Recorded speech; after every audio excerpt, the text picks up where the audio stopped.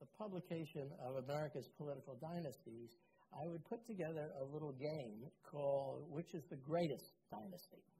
Uh, and eventually, in a couple weeks, I think it's going to go on the Brookings website.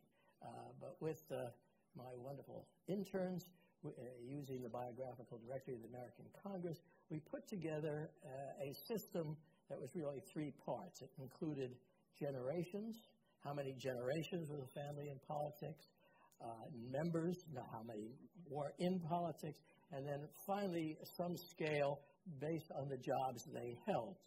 10 points for president, two points uh, for, uh, for members of the House of Representatives. So in late April, I called Cokie and I said, I have great news. Your family, the Claibornes, are the third greatest American political dynasties. dynasty. He thought that was nice.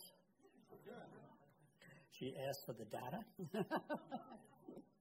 she went over the data, and she noted that we had left out, because it wasn't in the biographical directory of the American presidency, but she can prove it.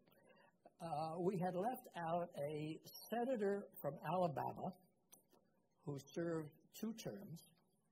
I should say, in the order of importance, number one was the Roosevelts, number two were the Kennedys, the Claibornes were number three.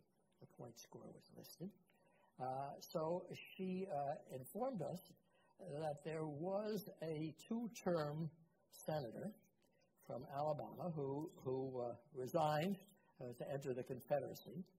And this, therefore, was worth uh, three points a term, or six points, plus two bonus points, or eight points, which happened to put her ahead of the Kennedys.